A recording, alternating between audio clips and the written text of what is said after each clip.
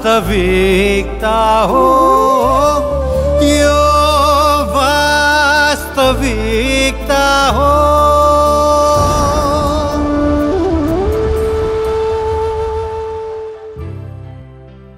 नमस्ते अनि ख्रिस्टी अभिवादन जय मसी आज शनिबारको दिन नयाँ साता अनि नयाँ बिहानी कार्यक्रम वास्तविकतामा तपाईँहरू सम्पूर्ण दर्शकहरूलाई आजको नयाँ श्रृङ्खलामा हार्दिक स्वागत गर्दछु। दर्शकवृन्द कार्यक्रम वास्तविकता आध्यात्मिक कार्यक्रम भएको हुनाले हामी विशेषतया यहाँ आत्मिकी जीवनका कुरा गर्छौँ। बाहिरी रूप रङका त होइन तर हृदय परिवर्तनका कुरा गर्छौँ। हामी विश्वास गर्छौँ यो कार्यक्रम हेरेर तपाईँहरूले पनि आफ्नो आत्मिकी जीवनमा आशिषको महसुस गरिरहनु भएको छ। कार्यक्रमको सुरुमा यो सुमधुर भजन तपाईँहरूको लागि। दर्शकवृन्द फेरि पनि स्वागत छ कार्यक्रम वास्तविकतामा। भजनको कुरा गर्दा गर्दै तपाईँहरू समक्ष एउटा अनुरोध पनि छ। यदि तपाईँहरूसँग पनि तपाईँको कुनै आफ्नो रचना गीत भजन र भिडियोहरू छन् भने र हाम्रो टिभी कार्यक्रम अथवा रेडियो कार्यक्रममा बजाउन र देखाउन चाहनुहुन्छ भने हामीलाई सम्पर्क गर्न सक्नुहुनेछ।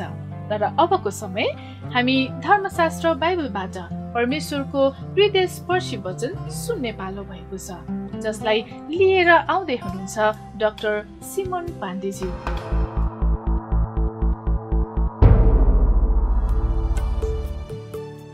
आदरणीय दर्शकवृन्द नमस्कार।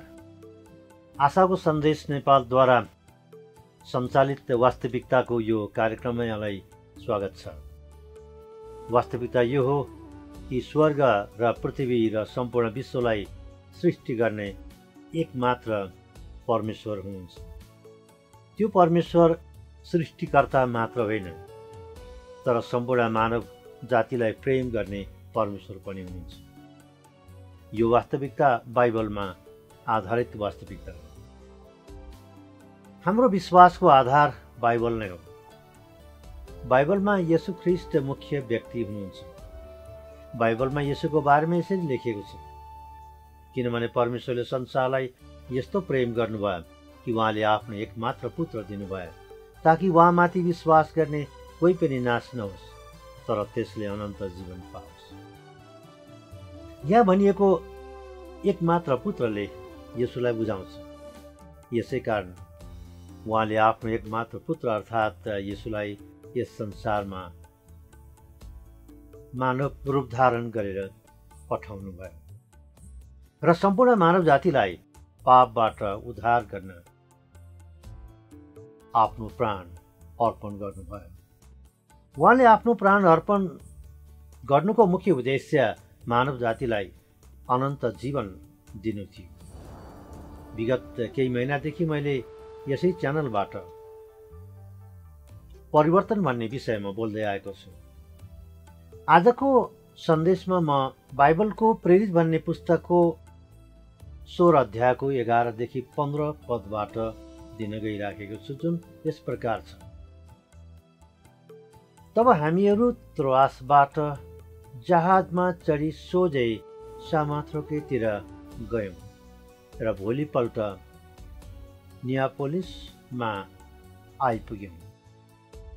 र त्यहाँबाट फिलिपिनमा आइपुग्यौँ जो म्याकिडोनियाको प्रमुख सहर र रोमी उपनिवेश पनि हो। हामी त्यस सहरमा केही दिन बस्यौँ। अब सबात अर्थात् विश्राम दिनमा सहरको ढोकाबाट बाहिर नदी किनारमा गयौँ किनकि त्यहाँ प्रार्थना गर्ने ठाउँ छ भने हामीले अनुमान लगाएका थियौँ। र त्यहाँ हामी बस्यौँ र जम्मा भएका स्त्रीहरूसँग बातचित गर्न लाग्यौँ अनि थियाटारिया सहरकी निवासी बैजनी वस्त्रको व्यापार गर्ने लिडिया नाउँकी एउटी ईश्वर भक्त स्त्रीले हाम्रो वचन सुने। पावलले बोलेका कुरा ध्यानसँग सुनुन् भनेर प्रभुले तिनको हृदय खोलिदिनु भयो जब तिनी र तिनका घरका सबैको बत्तिसमा भयो तब तिनले हामीलाई बिन्ती गरिन्। यदि तपाईँहरूले मलाई प्रभुकी विश्वासी ठान्नुहुन्छ भने मेरो घरमा आएर बस्नुहोस् र तिनले हामीलाई करै लगाए अहिले पढेको खण्डमा लिगिया नाउँ गरेकी एकजना स्त्रीको जीवन परिवर्तनको बारेमा बताइएको छ। जसले पाउल नाम गरेका यसुका चेलाबाट यसुको सुसमाचार सुने। सुसमाचार सुनेपछि तिनले यसुमाथि विश्वास गरे। फिलिप्पी भन्ने सहरमा पावल र उनका साथीहरूले यसुको सुसमाचार प्रचार गरेका थिए। त्यो रोमी साम्राज्यको एउटा उपनिवेश पर्छ। त्यसै सहरमा लिडियाले वैजनिक वस्त्रको व्यापार गर्छन्। तिनलाई त्यहाँ ईश्वर भक्त स्त्री भनिन्थ्यो। त्यसको अर्थ तिनले परमेश्वरको डर मान्थिन्। एकमात्र जीवित र सत्य परमेश्वर हुनुहुन्छ भने तिनले विश्वास गर्थिन्। तर तिनले यसु को हुनुहुन्छ भनेर चिनेकी थिइन्। उद्धार र मुक्तिको अनुभव गरेकी थिइन्। र तिनी बाहिरी रूपमा एक आदर्श नारीको रूपमा चिनिए तापनि तिनको हृदय परिवर्तन भएको थिएन। यो कथाले तिनको बारेमा एउटा राम्रो सन्देश के दिन्छ भने तिनले पावलबाट यसुको सुसमाचार सुनिन् र उहाँमाथि विश्वास गरे। मानिसको जीवन परिवर्तन तब हुन्छ जब उसले यसुलाई व्यक्तिगत रूपमा ग्रहण गर्दछ। आजको सन्देशको शीर्षक छ परिवर्तनका पाइलाहरू यसुलाई पछ्याउनु भनेको धर्म परिवर्तन गर्नु होइन। यो हृदय परिवर्तनको कुरा हो। मानिसको हृदय परिवर्तन यसोले मात्रै गर्नुहुन्छ। त तरिकाहरू फरक फरक हुन्छन् हरेक मानिसको आफ्नो आफ्नै अनुभव हुन्छ। मानिसको जीवनमा परमेश्वरले विभिन्न प्रकारले काम गर्नुहुन्छ। लिडियाको परिवर्तनले हामीलाई मुख्य चारवटा सन्देशहरू दिएको छ। पहिलो तिनले परमेश्वरको वचन सुनिन्। परमेश्वरको वचन सुन्नु भनेको सुनिएको वचनलाई गम्भीरतापूर्वक लिनु हो। वचनलाई मान्नु हो र वचनलाई विश्वास साथ आफ्नो मनमा स्वीकार गर्नु यसुको सुसमाचारको सारांश यो हो कि यसु हाम्रो निम्ति मारिनुभयो गाडिनुभयो र तेस्रो दिनमा बौरी उठ्नुभयो। यसुमाथि विश्वास गर्ने हरेक मानिसले उद्धार पाउँछ। यसुको सुसमाचार भनेको यही हो। यो सुसमाचारमा शक्ति छ जसले मानिसको जीवनलाई परिवर्तन गर्न सक्छ।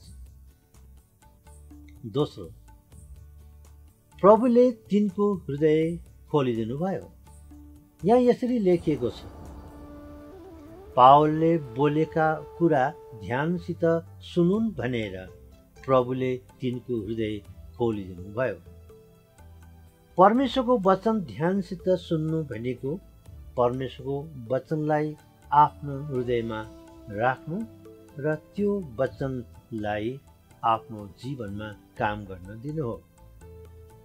धेरैले परमेश्वरको वचन अर्थात् सुसमाचार सुन्छन् तर थोरैले मात्रै विश्वास गर्छ यसुले परमेश्वरको वचनलाई बिउसँग र मानिसको हृदयलाई जमिनसँग तुलना गर्नुभएको छ। एउटा दृष्टान्त यसरी उहाँले दिनुभएको छ।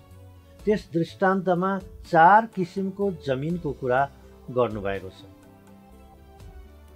बाटो भएको जमिनमा छरिएको बिउ चराचुरीले आएर खाइहाल्छ।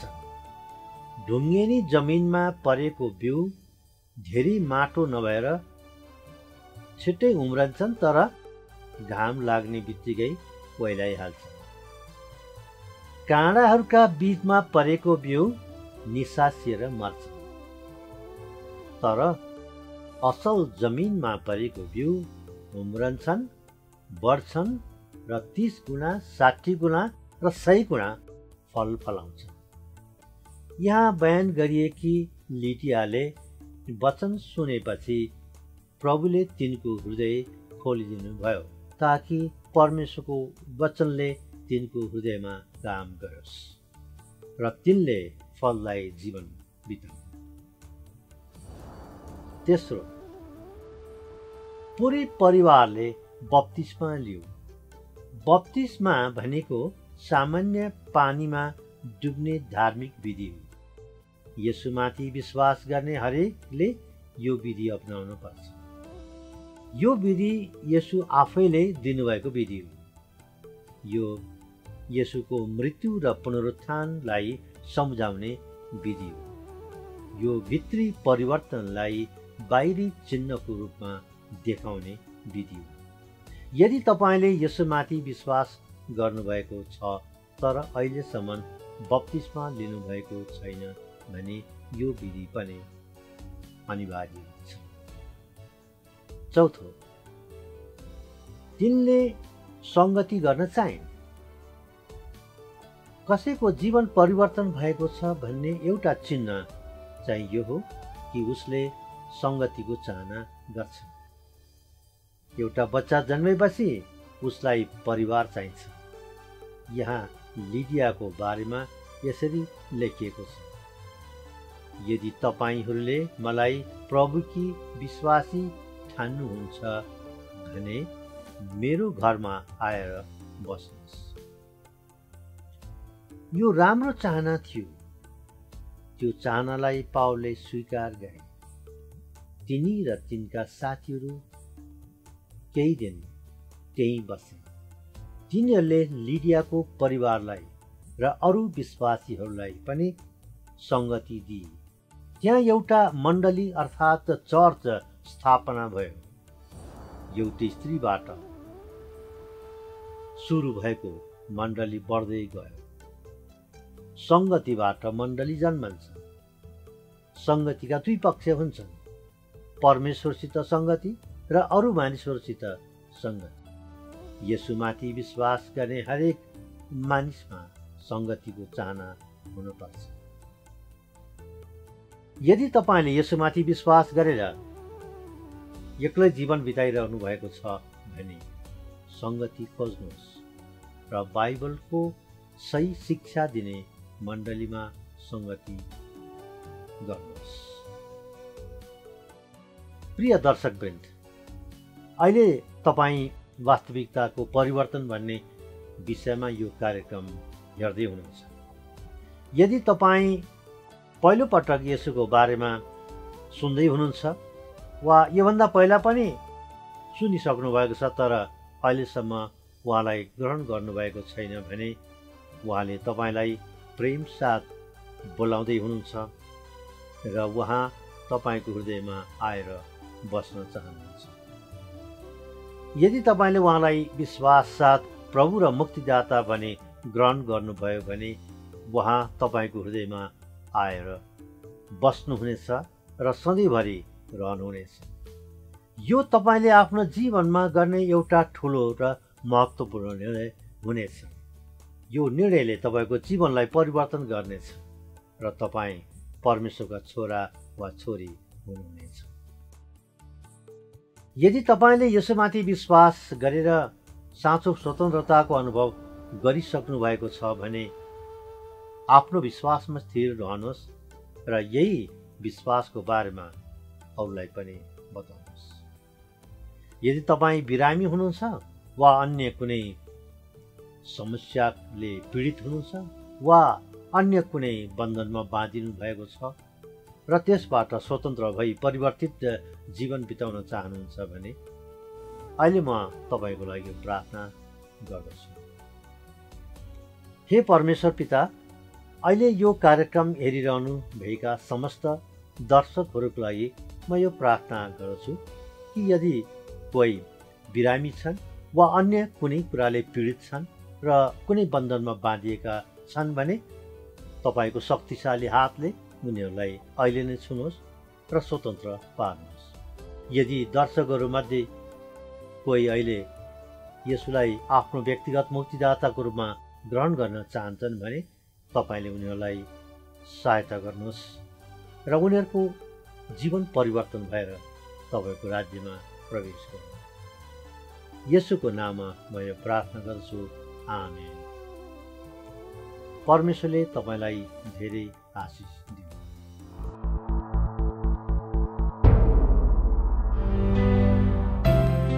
दर्शकबिन आजको वचनमा तपाईँहरूले परिवर्तनका पाइलाहरू भन्ने विषयमा सुन्नुभयो।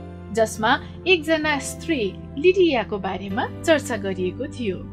लिडियाले परमेश्वरको वचन सुनिन् वचनलाई गम्भीरतापूर्वक लिइन् अनि प्रभुले तिनको हृदय खोलिदिनु भयो उनले परमेश्वरको वचन ध्यानसँग सुनिन्। यो भनेको वचनलाई आफ्नो हृदयमा राख्नु र वचनलाई आफ्नो जीवनमा काम गर्न दिनु हो। हामीले वचनद्वारा थाहा गर्न सक्यौं कि लिडियाले आफू मात्र होइन। तर सबै आफ्नो परिवारलाई पनि परमेश्वरको विश्वासमा जोडाइन्। पानीको बप्तिस्मा पनि लिइन् र परमेश्वरसँगको सङ्गतिमा अघि बढिन्। हामीले बुझ्नुपर्ने कुरा यसुलाई पछ्याउनु भनेको धर्म परिवर्तन गर्नु होइन तर हृदय परिवर्तन गर्नु हो। मानिसको हृदय यसुले मात्रै परिवर्तन गर्नुहुन्छ। तरिकाहरू फरक फरक हुन सक्छन्। त्यसैले त हामी सबैको आ आफ्नै हृदय परिवर्तनका फरक फरक अनुभवहरू छन् होइन र? हामी सबैको लागि परिवर्तन आवश्यक छ। त्यसैले हाम्रो कदमलाई अगाडि बढाउँ र परिवर्तनको अनुभव गरौँ।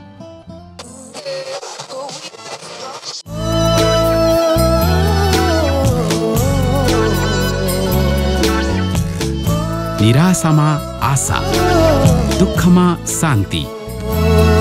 जीवन जिउनको लागि सही मार्ग। हरेक हप्ता शनिबार बेलुकी आठ तिस बजेदेखि नौ बजेसम्म रेडियो नेपाल राष्ट्रिय प्रसारणबाट प्रसारण हुने हृदय स्पर्शी रेडियो कार्यक्रम। आशाको सन्देश सुन्न नभुल्नुहोला। मान्छेहरूलाई आशाको सन्देश कोही ख्रिस्टमा छ भने त्यो नयाँ सृष्टि हो। पुरानो बिति गएको छ। हेर नयाँ आएको छ। दोस्रो कोरन्थीको पुस्तक पाँच अध्यायको सत्र पद। जसरी सुन्दर र प्यारो पुतली बन्नको लागि रूपान्तरणको आवश्यकता पर्दछ त्यसरी नै हरेक मानिसको हृदय परिवर्तनको निम्ति परमेश्वरको वचनको आवश्यकता पर्दछ। तपाईँको दैनिक खुराकको निम्ति आजको वचन अवश्य पढ्नुहोला। आशाको सन्देश नेपालद्वारा प्रकाशित दैनिक उपासना पुस्तिका आजको वचन। सम्पर्कको निम्ति आशाको सन्देश नेपाल नखु ललितपुर। फोन नम्बर पचपन्न नब्बे एक सय सडचालिस पचपन्न एकानब्बे आठ सय पैँसठी। मोबाइल नम्बर अन्ठानब्बे पाँच एघार एकासी एक सय सडचालिस अन्ठानब्बे एकचालिस चौतिस छयानब्बे अठार।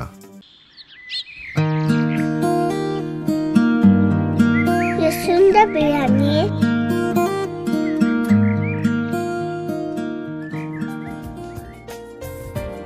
तपाईँ हेर्दै हुनुहुन्छ आत्मिक टेलिभिजन कार्यक्रम वास्तविकता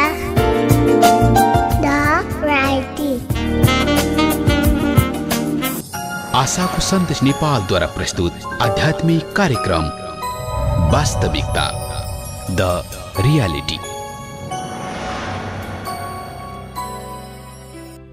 दर्शक प्रेम कार्यक्रम हेरेर देशभित्र अनि बाहिरबाट तपाईँहरूले पठाउनु भएको सल्लाह र सुझावको लागि धेरै धेरै धन्यवाद।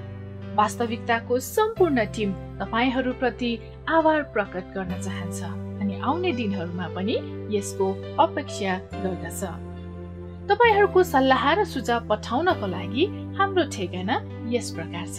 आशाको सन्देश नेपाल टेलिभिजन कार्यक्रम वास्तविकता। The Reality, GPO Box 8975, EPC 2966, Lalitpur, Nepal. Phone number 5591 865 Email moh.radioministry at gmail.com. Message of Hope at wlink.com.np.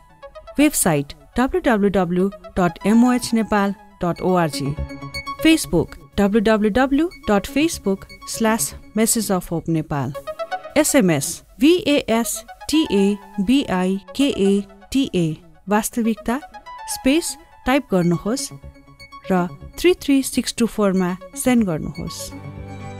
यति भन्दै आजको लागि कार्यक्रम वास्तविकताको निर्धारित समय सकिसकेको छ। अर्को हप्ता फेरि कार्यक्रमको नयाँ श्रृङ्खला लिएर म आशा तपाईँहरूको समक्ष उपस्थित हुने बाचा सहित कार्यक्रमबाट बिदा हुन चाहन्छु। तपाईँहरूको यो साता शुभ रहोस्। जय मसी अनि नमस्ते।